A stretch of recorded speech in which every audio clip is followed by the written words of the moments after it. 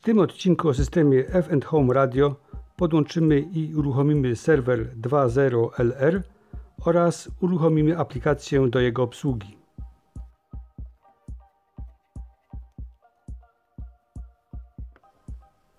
Z tyłu obudowy serwera mamy gniazdo do przyłączenia zasilania, dwie diody Power i Status, przycisk Reset, gniazdo do przyłączenia przewodu ethernetowego, gniazdo USB oraz nieobsługiwane na razie gniazdo EXT.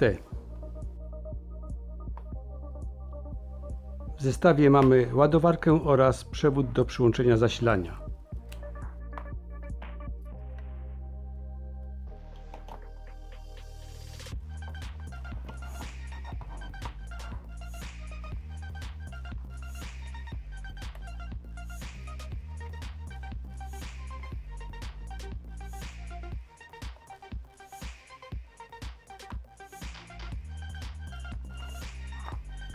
Do gniazda LAN wkładamy przewód UTP dołączony do zestawu, a następnie podłączamy serwer dowolnego gniazda w routerze.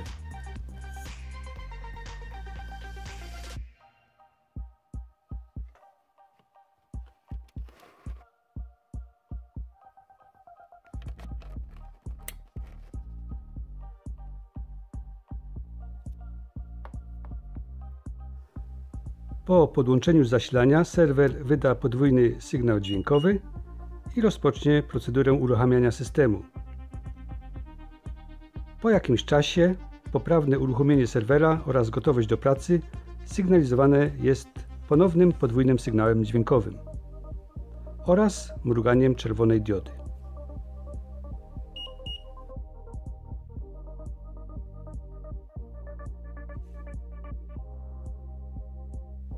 Komputerze podłączonym do tej samej sieci komputerowej co serwer wchodzimy w mój komputer sieć.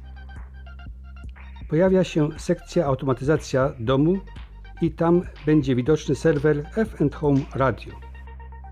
Kliknięcie w ikonę serwera uruchomi przeglądarkę internetową ze stroną F Home Radio. Po kliknięciu w ikonkę i z prawej strony wyświetli nam się informacja o wersji zainstalowanego oprogramowania. Jak zrobić aktualizację pokażę w innym filmie. Teraz klikamy pobierz konfigurator dla Windows.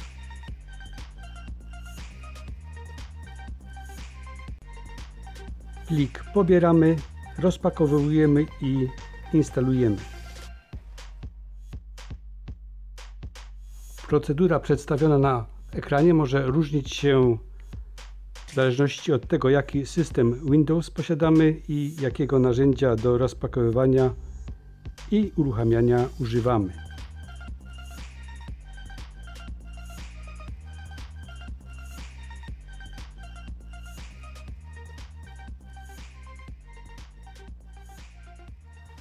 Proces instalacji trwa, a ja powiem parę słów jeszcze o tym serwerze.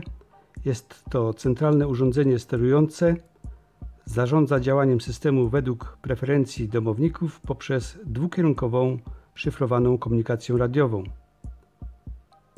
Programowanie odbywa się poprzez graficzną aplikację pracującą w systemie Windows, w której obiekty sprzętowe i programowe przeciąga się i łączy ze sobą liniami. Sterownik główny, czyli serwer, posiada wbudowany zegar czasu rzeczywistego, zegar astronomiczny oraz systemy kontroli poprawności pracy. Pobór mocy to maksymalnie 10 W. Serwer charakteryzuje się bezgłośną pracą, nie ma tam żadnych wentylatorów.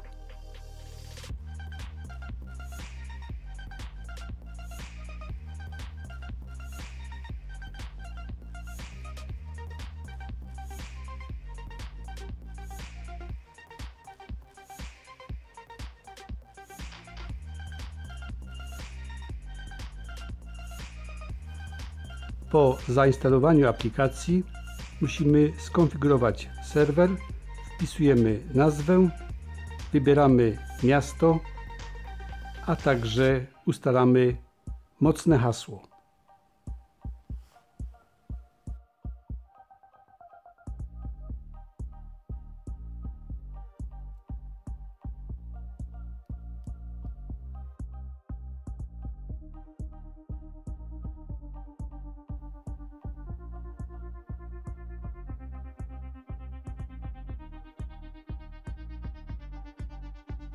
Interfejs konfiguratora zawiera szereg zakładek, z których będziemy korzystać podczas pracy nad naszym własnym projektem. Z lewej strony mamy bibliotekę, moduły, oświetlenie i różne inne przydatne rzeczy do budowy systemów. Po wejściu w zakładkę Zmień projekt możemy skorzystać z przygotowanych gotowych rozwiązań. Możemy je zaadoptować do własnych celów.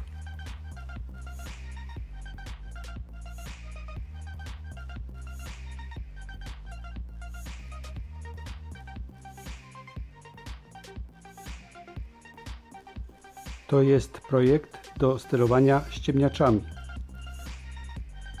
Tak się prezentuje.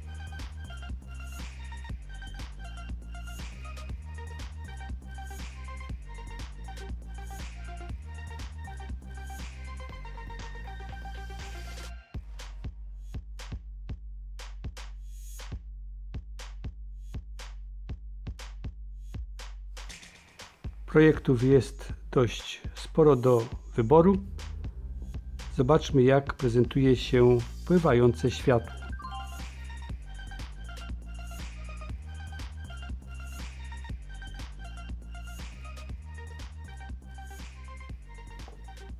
W tym projekcie, co ciekawe, jedynym fizycznym, takim namacalnym elementem sterowniczym jest moduł RHPWM3 Pozostałe elementy można powiedzieć, że są wirtualne.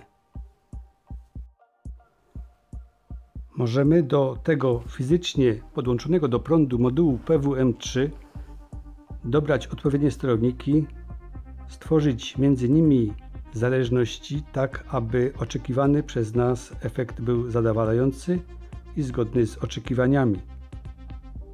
Może być to zarówno zwykłe ściemnianie i rozjaśnianie, jak i też, tak jak w tym przypadku, efekt pływającego światła.